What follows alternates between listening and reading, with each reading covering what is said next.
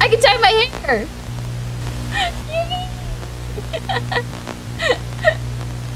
They're so cute. I love these little hair ties. Oh, they're adorable. So, so cute. As we have Ty Lee. Ooh, Ty Lee is a good character. I really like Ty Lee from Avatar.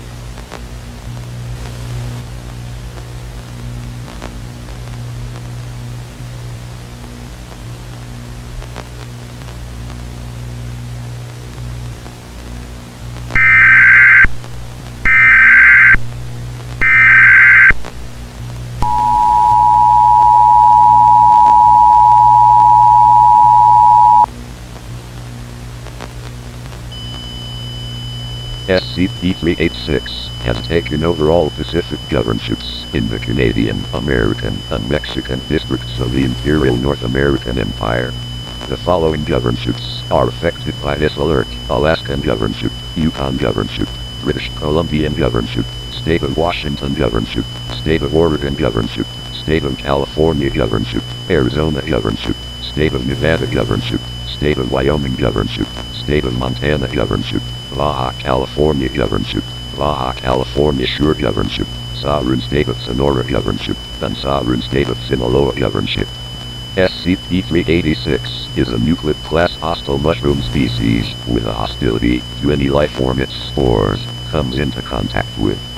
The SCP spores grow and mature within four days, however contact with it causes suffocation, hemorrhaging, and death via accidental ingestion of contaminated areas, such as food or liquid sources. Between 50 to 100 spores have been seen within the areas affected, and any attempts to destroy instances of SCP-386 results in the growth of new versions of the hostile SCP in question. The source of the ongoing outbreak was alleged to be in the Los Angeles metro area, California governorship, but that cannot be certain as the entire city collapsed under the Euclid entity's mighty spores.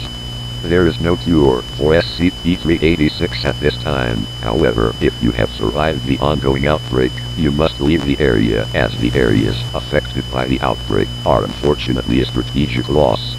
If you have survived, gather clothing, portable radio with batteries, mobile devices, medical supplies and other items with you, and fight your way to military or civil defense barricades, where you will be processed for any instances of the SCP. If you have a low or medium level, you may be quarantined. However, those with the highest level will not be allowed past the barricade and will be quarantined and effectively monitored 24-7. Once again, if you have survived the outbreak, gather supplies or items mentioned, and fight your way through military or civil defense barricades that are being relayed through proper radio or TV channels. This message will repeat until there are none to hear it. Do not take food and liquid implements, as they are contaminated with possible SCP-386 spores. Good luck, as the areas affected are of strategic and political loss.